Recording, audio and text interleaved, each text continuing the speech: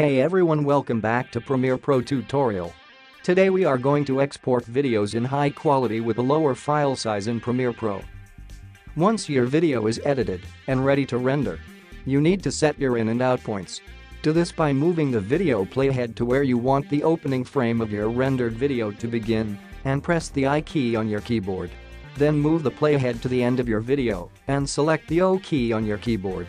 The timeline will turn a darker color where your in and out points are selected. To export a video in Premiere Pro, go to File Export, Media. You could also press the shortcut key Ctrl plus M on PC.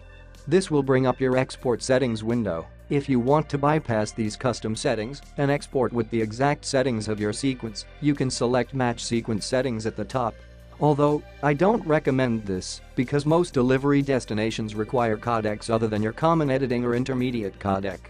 The best setting for web playback is the H264 codec. So, we'll select our format as H264. That is also the most common codec for video exports through Premiere. For 80 to 90% of your exports, you'll be using H264.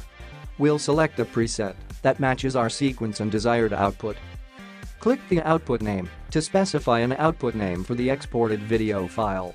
Make sure that export video and export audio are both checked so the file has both video and audio. If you feel comfortable with changing settings to make them more customizable, you can do so in this window. Here's my recommended settings for most of my videos exported in Premiere. Click the render at maximum depth box. The bit rate decides how big your file size will be if you need a small file size, you can trim down your bitrate to minimize size. The size will be shown at the bottom of the window. Now, you can select export. That's it. You just exported your finished video.